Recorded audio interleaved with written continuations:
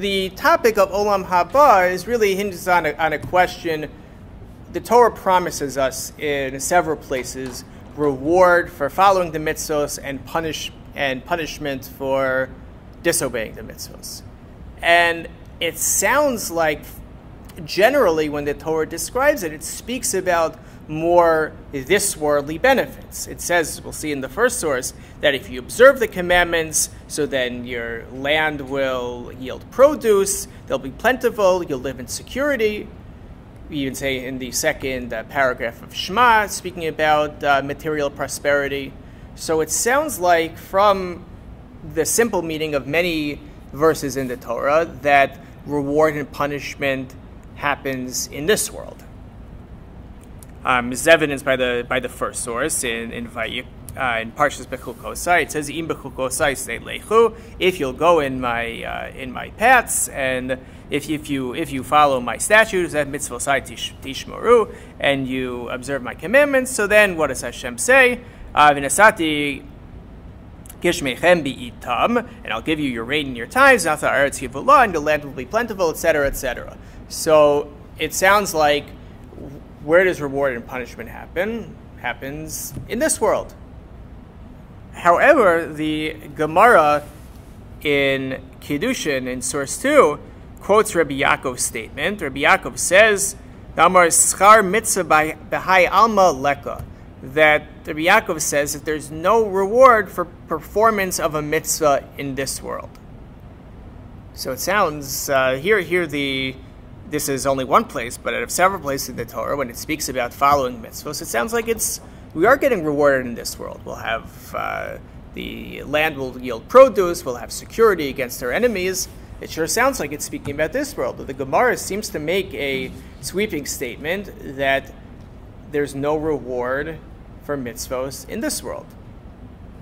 So there are a couple of ways to, to reconcile it, or at least understand the fact that the Torah is describing reward in this world, but it sounds like a, at a basic level, the primary reward and seemingly punishment for that matter is not experienced in this world, but is experienced, we'll call it in the world to come, and we'll see what that is exactly.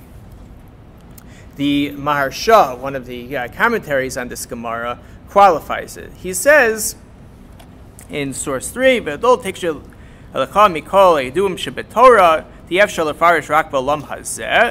that don't uh, challenge the statement, don't find the statement difficult from in light of all the states in the, in the Torah that speak about reward for observance of mitzvos in this world. Shim tishma yovol leichem kol brachos. If you listen to me, I'll bring about the, the, the blessings and the goodness um, and if not, so we'll bring it. Hashem speaks about uh, bringing um, about curses that our enemies will oppress us, that uh, will be materially lacking, and that seems to be in this world. So how do we reconcile these passages in the Torah with Rabbi Yaakov's statement that there's no reward for a mitzvah in this world? So the Maharsha says the Yesh Lomar answer the Rabbi Yaakov demode diskus harabim umaseihem atovim meviim lehem kol brachos v'atovos sheniskaru b'Torah the gambo lam hazeh v'chein v'hefech v'chet harabim. So he makes a distinction that the reward and punishment will be experienced collectively in this world. That on a communal level, if the Jewish people, or for that matter, we see from Noach, if mankind follows Hashem's ways, so in this world, Hashem will uh, give us bounty and Hashem will protect us from our enemies on a communal level. It seems like on a national level, we won't have these existential threats, both physically, um, materially. Um, however, the Maharsha says, Aval. Um, Rabbi Yaakov lo amar kain ella ella biyachin. Rabbi Yaakov's statement that there's no reward for mitzvah in this world, that's speaking about on an individual level. That, however, we can understand that a person is not, as an individual, rewarded in this world for a mitzvah, at least not uh, doesn't experience the primary reward. So it sounds like on an individual level, if we do a mitzvah, we do an act of chesed, um, we follow the Torah. So maybe individually, really the reward that we're going to get is going to be experienced in the next world. On a community level, or even on a, on a global level, there will be um, rewards in this world as far as bounty, as far as protection from, from enemies. That happens, and, and that will be realized in this world from collectively following Hashem's ways. But on an individual level, according to Yaakov's statement in the Gemara, that uh, the primary reward, or really real reward, he says there's no reward for a mitzvah in this world. So the reward happens in the world to come, and we'll have to see what exactly the world to come is. Good so far? So the Rambam reinforces this concept that really the primary reward that we get for observance of a mitzvah is going to be in this world. So the Rambam says in, in source 4, Shematan Shal Mitzvah, so mitzvahs hatova, im, uh, if you, the mitzvahs that were given, if we listen to Hashem, um, Hi Chai Olam Haba that really the mitzvos that we um, are rewarded for will be experienced in in the world to come. And the the ultimate punishment for um, the wicked is also experienced really in the afterlife. That the according to the Rambam, the really the worst punishment that someone can get is is, is kares, is really having their soul cut off, really not having any connection, any spirituality in the afterlife. It's basically it's basically done. Um, but the Rambam recognizes that, that what does it mean when the, when it's written in the Torah? If you listen, then you will receive X, and if you don't, you'll you'll uh, this will happen. It sounds like all of those things are in this world. So he says a very interesting thing. He says, Ein osen hatovos heim sof matan skara shel mitzvah. So the these uh, velo osan haros heim sof nekama shenokbin over akola mitzvos. That these things that the Torah promises us are not the end the final consequence. Really, when the Torah says uh, it'll be you'll be rewarded, you'll be punishment, you'll be punished, and when that refers to this world, so that the Rambam says is not the final consequence, the final reward, or the final punishment. Where does that happen? Um, he says, "Dikanu b'Torah she'im nasa osa b'simcha u'v'tovas nefesh v'nehegas b'chachma sa tamid shasu mimenu kol advarim hamonin osanu v'lasosa." Um, that rather, what is it? That if, when, when the Torah speaks about uh, about uh, having having bounty and uh, being protected from enemies and having a good life, so Ram is saying that that's not really the ultimate reward that the Torah is, is guaranteeing us.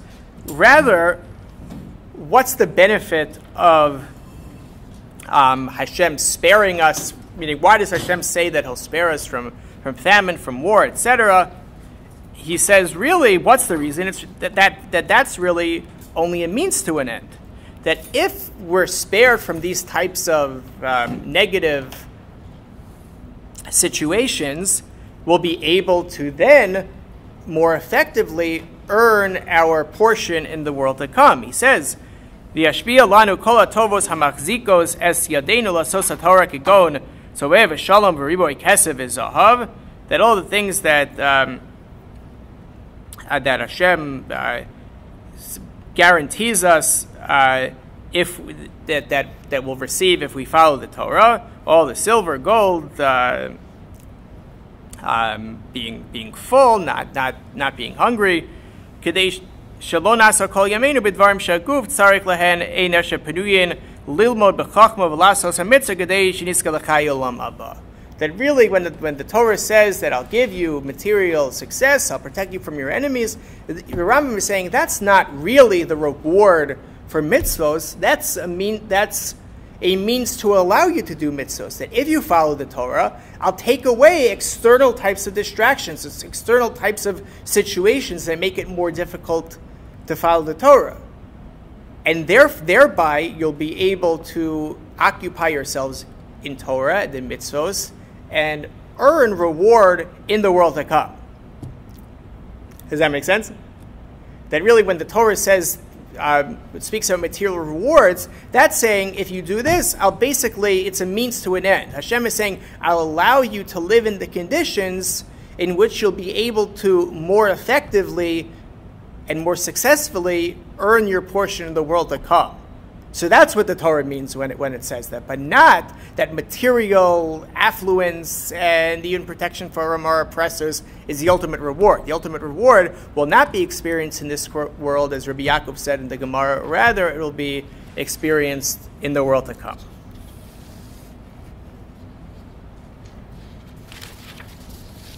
And if we look at many um, earlier sources, they do, we'll see several that. Uh, emphasize the fact that there's a lot we don't know about the world to come.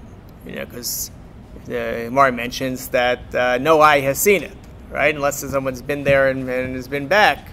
You know, no one can really. We have certain illusions and certain basic uh, ideas about it, but there is um, a lot that we don't know about it.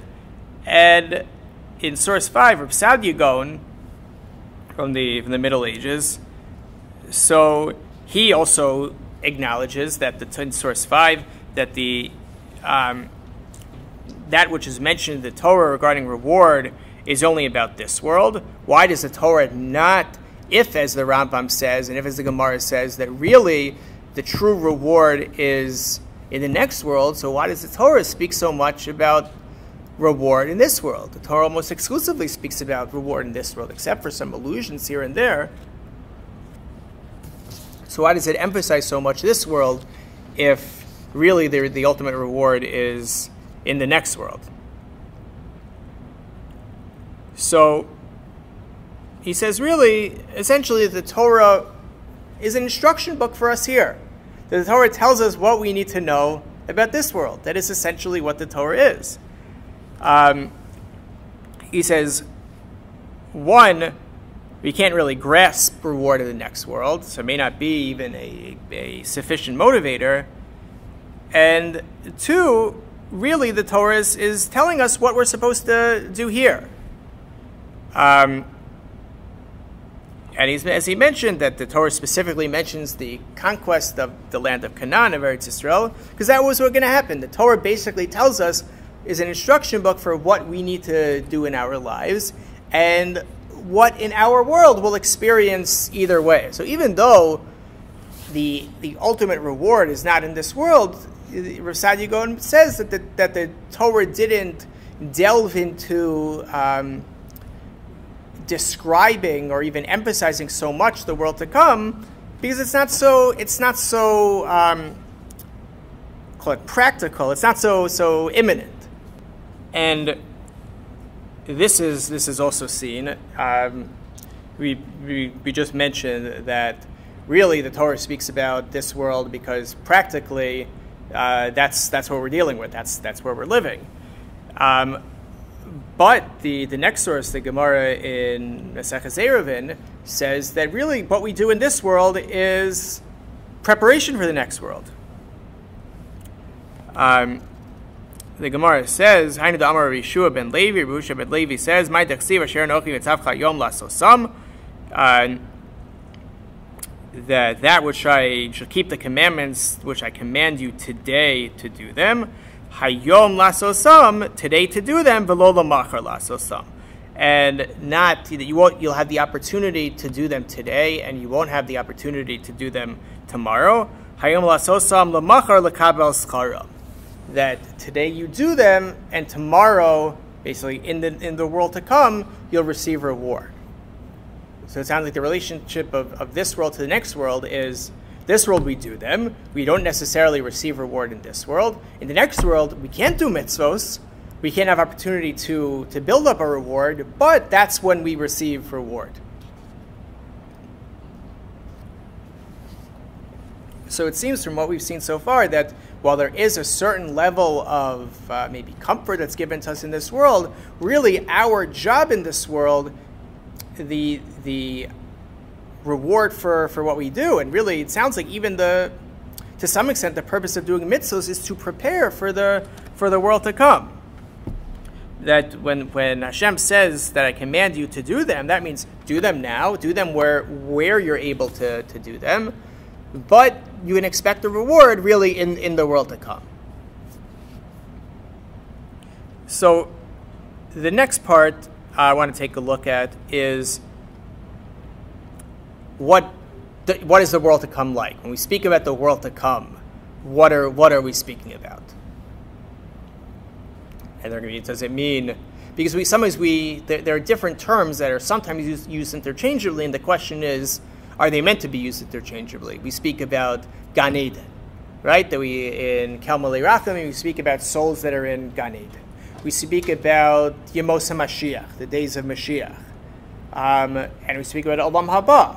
And sometimes they're, they're used um, interchangeably. The question is, are they interchangeable?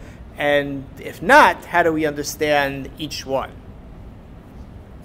So the we, we have sources um, from the Talmud that, that describe the next world, but the question will still be what stage in history are we speaking about? And, and then you'll see what I mean. Um, the, the Talmud in, in Brachos, source 7, says that lo kolam haolam haba, that this world is not like the next. The next world is like is not like this excuse me, um, this world is not like the next world. Olam haba ein bo lo achila velo velo. In olam haba, there's not eating, drinking, procreation. Velo masu mata, and there's not business. Velo kina, velo sina, there's not jealousy, there's not hatred. Velo takrus, there's no uh, competition. Rather, ela tzadikim yoshvin va'atro sehem barashehem benenem iziv ashchina. Rather, what will happen in Olam Haba, there won't be, it sounds like it's completely non physical from what it's described. There won't be any types of physical involvement. Rather, what will happen, the uh, righteous will sit um, with, uh, with, with crowns on their head and will delight in the, um, in the radiance of the Shekhinah, the divine presence. So, it sounds like it's describing really not a physical world, an entirely spiritual world. And the commentaries explain what does it mean to um, to be sitting with crowns on their head and benefiting from the radiance of the divine presence. It's um, understood by many to mean that uh, will have a greater knowledge of and closeness to Hashem. And that's supposed to be really equivalent, uh, greater than all of the pleasures uh, of this world all the material pleasure, that, that, that pleasure of closest to Hashem and, and increased understanding, that's something that's understood to be greater than anything in this world. And, it's, and it sounds like from the Gemara, this is describing something that's completely spiritual. And we're going to see the question is when is this speaking about? Is this after we die? Is this after the resurrection of the dead? So we'll, we'll get there in a little bit. But, right now, we want to know what's the, what are some characteristics of the world to come. It sounds like there's a um, really lack of physicality and entirely spiritual uh, realm. However, we did mention that we haven't seen the world to come. In source 8, the, the Gemara emphasizes this. He says the prophets, when they prophesied, they really only talk, spoke about the days of Mashiach. So it sounds like we see in many of the prophets they speak about what will happen. The, we spoke about last week, the entire world will recognize Hashem. Um, so that's really about Yemos Mashiach. But Olam Haba, Olam Haba, it says that no eye has, has seen it.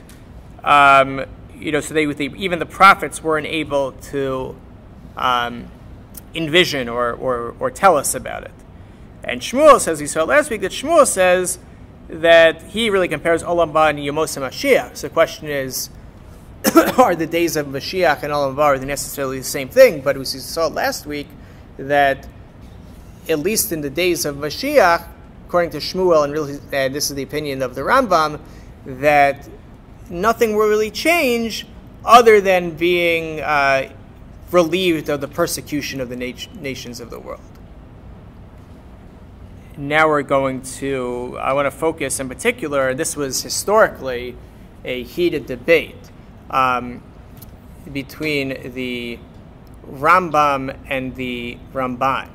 And it was so much heated, we'll see the Raavad, some accused based on this, uh, someone, uh, some accuse the Rambam of actually denying Tchias HaMesim, the idea of the resurrection of the dead. He puts it in his 13 principles of, of, of faith, and um, he wrote a, a uh, short book about it. But we'll see that some challenged the, um, the, the, Rambam's explanation of the world to come. We'll see the, the explanation of the Rambam of Maimonides and then the Ramban, Nachmanides, how they understand basically these different things that we, that we mentioned. Gan Eden, Olam Haba, the times of Mashiach, Tchias HaMesim, when the when the, the resurrection of the dead. You know, when does that all happen? You know, for right now, I, you know, we kind of think hopefully it won't be so far in the future, but we think about the future, we'll see. But we, we have a lot of things. We talk about Mashiach comes. It's Tchias HaMesim. Is it before Mashiach comes? After after Mashiach comes, where does Olam Haba uh, fit in? So these these were things that because we see from earlier sources they were left somewhat unclear among the Rishonim, among uh, others, but in particularly Rambam and the Ramban have different explanations of how exactly this is all going to play out. So the in source 10 basically reiterates that the Rambam says that really the um, good that is hidden for the righteous will happen in in the world to come and uh, he says that this won't this uh, you know this world won't be um, accompanied by death. There will be some sort of everlasting life, and that's ultimately where the righteous will be rewarded. So he, if you look at, at source 11, how does he describe Olam Haba? Very similar to what the Gemara says. He says, Olam Haba ein bo guf, uh, there's no body or physical form. El fashos hatzadikim bilvad. It's only seemingly a world of souls, the souls of the of the righteous people. Below guf, kimalach shares, without a body like angels. I don't know if it's really like a Jewish perception, but there's a right. Don't there some believe that when you're when you die, you become an angel. So I don't know if it's necessarily speaking about that, but it sounds like in Olam Haba, that that's, and we'll see when that takes place, um, there will be an entirely spiritual existence like that of an angel. There won't be eating and drinking. There won't be anything that are physical um, anything physical, and, and there won't be, and people won't have any physical needs. Rather, tzadikim, the righteous, will sit with crowns on their heads and will and will uh, delight in the radiance of the divine presence. Klomar, and what does that mean? That they'll delight in the radiance of the divine presence. So dasha yadu shebigla zok l'chayalam haba, and will possess the knowledge that they grasp which allow them to merit the life of the world to come. The olam haba that we're speaking about is something that's that's not physical. And as a result of living in this non-physical, entirely spiritual realm, he says sheyodin umasigin mamitas hakadosh baruch They'll they'll know and they'll be able to comprehend, grasp the truth of of Hashem yodim beguf ha'afel um, and they'll be able to have a greater comprehension of Hashem and of the truth beyond what they were able to have in this world, because this world we're limited by by certain physicality. We don't have that direct, uh, you know, line of, of communication with with the divine. but there, for as a, the ultimate reward for those who are righteous in this world, they'll be able to have this uh, entirely spiritual, pleasurable existence.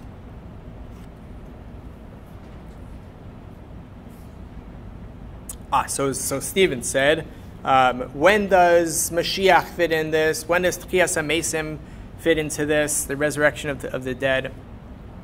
So, the the Rambam says here, source twelve, Shakola Tova She. Hanavim, all of the ben, uh, beneficence with the which the prophets uh, promised Israel. Einon Mashiach as similar to what the Gemara says, that the prophets only talk about Mimos Mashiach, Yisrael, that what happens when Mashiach comes, that the um, dominion over the world will return to to Eretz Yisrael, that the Jews will have be relieved from persecution. That's the days of, of Mashiach, says the Rambam. Aval Tovas Chayolam Haba, Ein La Erik V'Dimyon, it doesn't have any uh, measurement or comparison. Lo Demu Neviim Kadesh Lo Yivazu Osa B'Dimyon. That um, Olam Haba, he says, is not the same as the days of Mashiach. The days of Mashiach, the Rambam says, and we saw this uh, at greater length last week, is going to be, in the Rambam's vision, is going to be everyone will recognize Hashem and will be relieved from, from persecution. But Olam Haba, he says that will that's not necessarily the same as as the as, as the days of, of Mashiach. So the the Raavad, who frequently argues on the Rambam, he claimed or expressed concern that the Rambam somehow denied the idea of Tchias HaMesim. Because isn't the idea of Tchias HaMesim that you come back to life and you live in this world? That the dead come back, the dead whose souls have separated from their bodies, when, presumably resurrection is that, sounds very Christian, but uh, whatever, res- resurrection is when the soul is then reunited with the body. But here the Rambam is saying that the ultimate destination is when there's no body. So the the Raavad challenge in source 13, he says, Diver Aisha the words of this man, uh, Hine Kroven Lamisha Omar Ein Tchiasamesim Legufos. It's the Raavad challenge that the Rambam is perhaps suggesting there's no resurrection of the dead of the physical body. Elenish Neshamas Bilvad. Maybe he's saying there's only a, a um, continuation or revival of the souls. He says, um, so he says it could be that they could come in some sort of um, you know physical um, existence or some sort of physical existence, but that's uh, you know very spiritual. But the um, but the, the, the Raavad takes some issue with the fact that the Rambam is speaking about Olam Haba in an entirely non physical way, because how do we account for Tchias HaMesim? So, what the Rambam, I, I didn't put it uh, on here, I really should have, um, but basically the Rambam, um, we'll see from the next source, but he he holds that the, that the series of, of, of events will be as follows. That right now, as is, you see in, in source 14, that Olam Haba exists. Right now, there's Olam Haba. And don't think that it'll be something that's new that's created in the future. Right now, there's Olam Haba. What, and that's an entirely non physical world. Then when Mashiach comes and when there's Tchias HaMesim, when there's a resurrection of the dead. So those souls that are in Olam Haba will now be returned to their bodies and the Rambam says that they'll live very long lives, and they'll be able to earn more reward to then go back and you know live in Olam Haba forever. The, the, the Rambam isn't making any distinction there, but I guess where, wherever it is, we'll see that maybe now they're in Gan Eden, a, a sort of a world of souls, according to the Ramban. But I guess the idea is wherever they are, because as we saw, they can't, they no longer will have the opportunity to earn any merit for themselves. There's an idea that perhaps things that people do, particularly that children do, are able to um, raise their, their, their standing in the, in the world to come. So the idea is through, let's say, the mitzvahs that are done down here. On a yahrtzeit, you try to do certain mitzvahs, you know, to merit the, the neshama. So the idea is that through there, the neshama should be able to, you know, raise where it is, so to speak, in, in we'll say, e- either the world to come or, or Gan Eden. According to the Rambam, it would seem to be the world to come. But that's the idea that we can't because they can't do anything now, so we can perhaps benefit them by doing mitzvot. Particularly, children for parents um, can benefit them um, when the, when they're in when they're in the next world. But that's basically according to, to the Rambam. That right now, when when people uh, pass away, if they're righteous, they go to Olam Haba, where there's no physical. Um, where, where, where, where there's, there's no physicality, then they, um, with Tchias HaMesim, they'll come back, the righteous will live very long lives, and then they'll seemingly go back to uh, this eternal world. Um,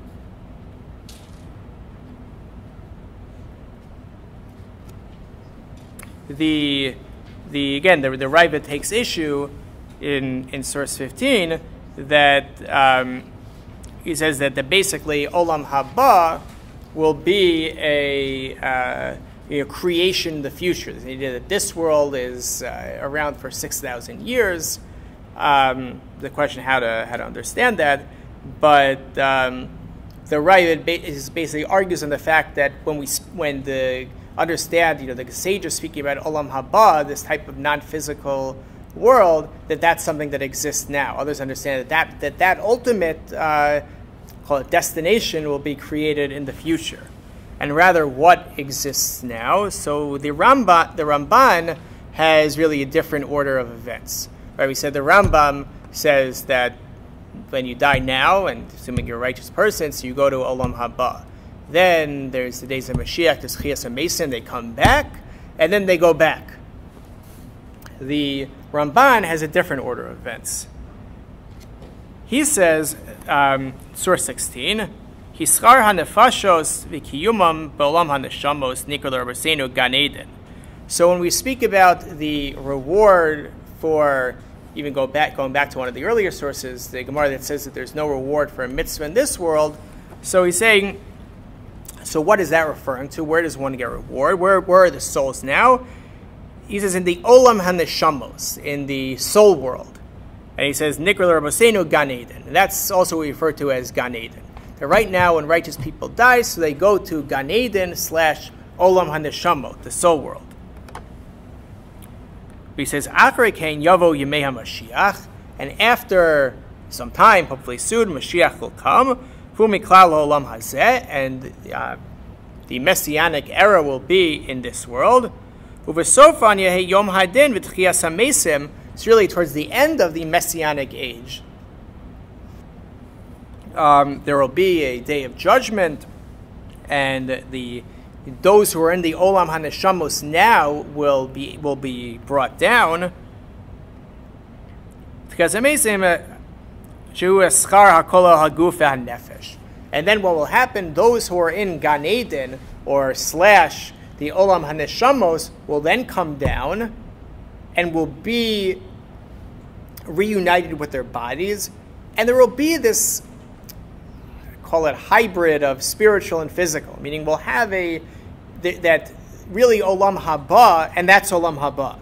So really, Olam Haba is somewhat of a, has a physical aspect to it. Just, just again, so that when, so now when someone dies, they go to the Olam HaNeshamos. They're there, then Mashiach comes. Tchias HaMesim is then those souls come down, are reunited with the body, and then sort of the eternal world is the body and soul together in this physical but elevated world.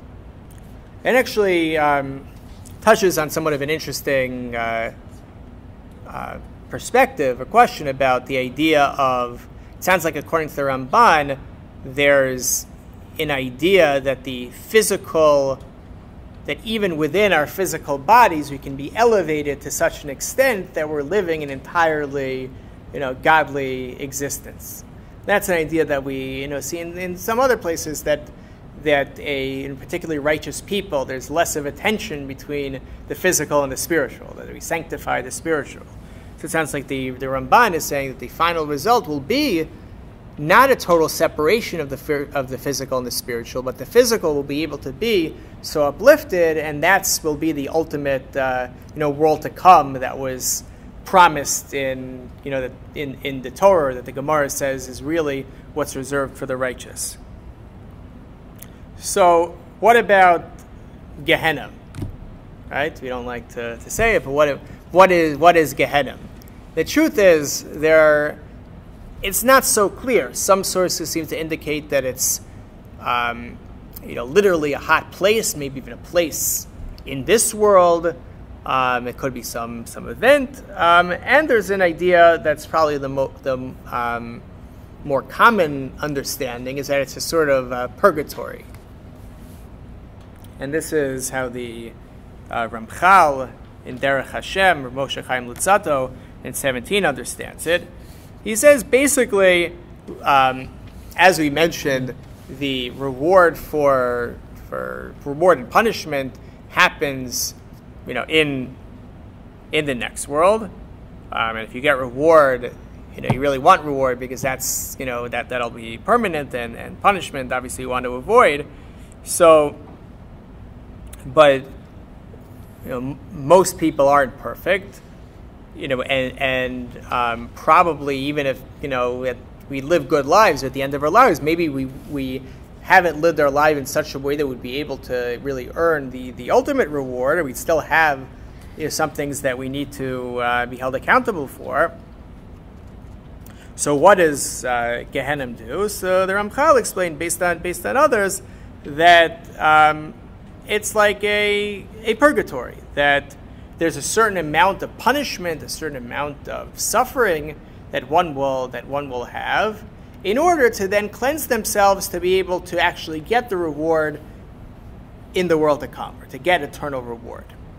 The, the Ramchal really takes the approach of the more or less of the Ramban, who says that there's this world of souls and there's Tchias HaMesim and then there's Olam Haba. But but either way, even in the let's say the Olam HaNeshamot in the world of souls itself, so there will be a, a purification process, a, a experience of Gehenna, and through that, a person will be able to you know, cleanse themselves, purge themselves of, of things that are preventing them from having the ultimate spiritual, spiritual reward, and then they'll be able to experience it.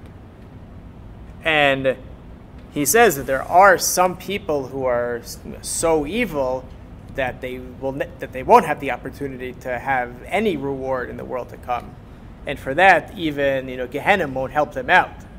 Um, but he says that that number is a is a minority. Most people are able to um, atone for their sins and, and be able to then be allowed to receive reward through this experience of, of Gehenna, except for you know, certain people who are particularly evil. And the, the Mishnah in Masechah Sanhedrin speaks about certain famous individuals who have no share in the world to come. So you have um, has a has a has a list there, but uh, but we have the another we have the Mishnah that says that all Jews have a portion in the world to come, um, and the Mishnah there says all Jews except for you know a couple of people who don't, but um, basically and as you can see from the Derech Hashem, that most people will have the opportunity to, uh, you know, to, to receive reward in the next world. And we have an interesting, in Pirkei Avos, we have an interesting relationship or perspective on this world as opposed to the world to come. the the Mishnah says, source 18, Rabbi Yaakov, Omer olam hazeh domer leprosdor bifnei olam haba. That this world is comparable to uh, an antechamber before the, the world to come. Haskin atzmakav prosdor kadei shedikanas letraklin. Letraklin. That um, prepare yourself while you're in the antechamber so that you can en- enter the banquet hall. Hu omer yafish achas masim tovim mikol olam haba. So he says, on the other hand, while this world is a the antechamber and the ultimate banquet hall, which we're in this world to prepare for, that's the the world to come. That's where that's where the ultimate reward is. Um, however, he says, Yafish that that one moment of repentance and good deeds in this world is greater than um, all of the, the life in, in the next world.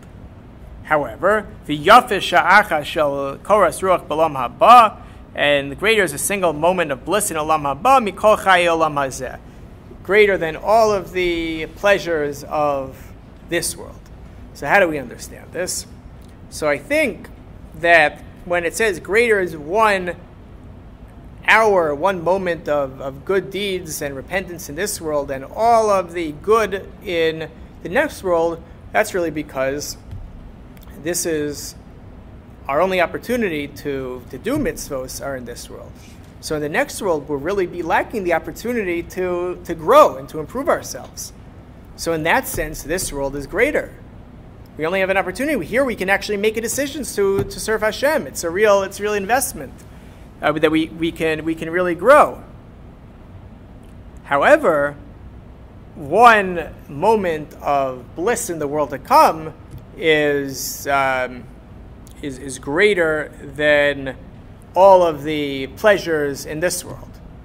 So you say, this world, we're really preparing for the next world, and through doing that, it's, it's tremendous. It's not just I, I, think what this what this Mishnah is coming to, to tell us is don't think that this world is something that's you know meaningless. Oh, we just need to get to the next world. No, this world is very important. That this world is really where we get to and have the opportunity to build ourselves up and to serve Hashem and to overcome challenges. That that's really, really very important. But where we'll experience the ultimate bliss is in the world to come. So wherever that may be, whether it's uh, something that we would experience right after death, and then we'll go back, and then after Tchias HaMesim, we'll, we'll, then, we'll then go back to, um, or there's this Olam HaNeshamot, and then, and then the existence in the Messianic times.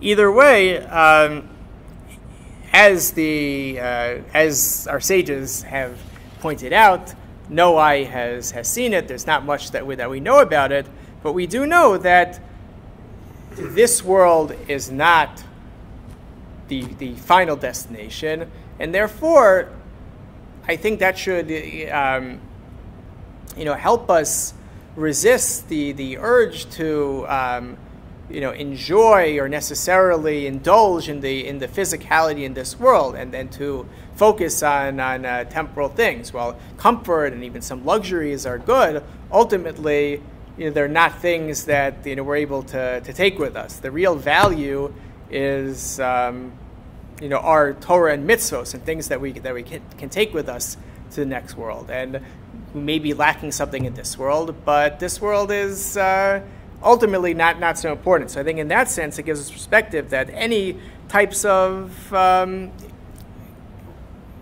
we'll give call reward and punishment, benefits, wealth, things like that, or, or challenges in this world are really not the ultimate, ultimate, and that if we do do mitzvahs, we'll be rewarded in in this world, even if we may not see it. We'll be rewarded in the next world, even if we may not not see it in this world.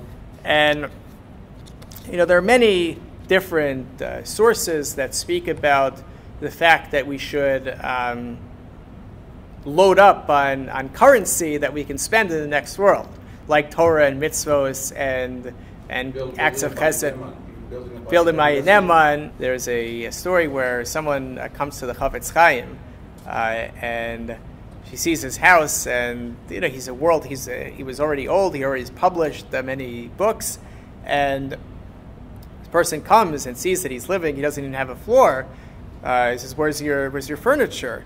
Uh, so the Chofetz Chaim says, "Well, where's where's your furniture?" He says, "I don't have furniture with me. I'm just you know passing through here." So he says, "I'm also passing through this world. That I could. There's no point in buying you know fancy furniture. I can't take that with me." Um, and the only thing we can take with us is uh, Torah and mitzvos. Recently, in another story, I think that the Chofetz Chaim would tell that um, it, there's a story of a person who went to a foreign country, and in that country, uh, diamonds and jewels and pearls were very were very cheap, um, and was expensive. Uh, food was very expensive. So this person there, he okay, he thought food's very you know very expensive. You know, for I'll pay a thousand dollars for a loaf of bread. You know, I'll go back to where I'm from and I'll bring it back. And wow, I'm bringing back a lot of stuff. Then he then he comes back and you know he has a long voyage and he you know goes into his pocket and the, the food is rotten. He's like, why did I spend all my money on on the on, on a slice of bread? Where I am, it's not it's not so expensive. Um, and then he goes, he's, he's really disappointed. And he reaches into his pocket and he sees that he has one of the, the diamonds. And, and through this, he's able to, to get very wealthy. It's worked a lot where, where he is. But he then becomes very disappointed and is thinking, imagine if I really spent time loading up on you know, the diamonds and the pearls. And you know, instead, uh, I invested in something that's not so valuable where I'm from. So I think that's, that's like really you know, Torah and, and, and mitzvahs, that those are the, the currency that when we go to the next world, we'll be able we'll be able to spend, you know, and not and not other things. So bit of a perspective, and uh, we should have you know many years in this world and also merit uh, the coming of Mashiach to get some Haba. Amen.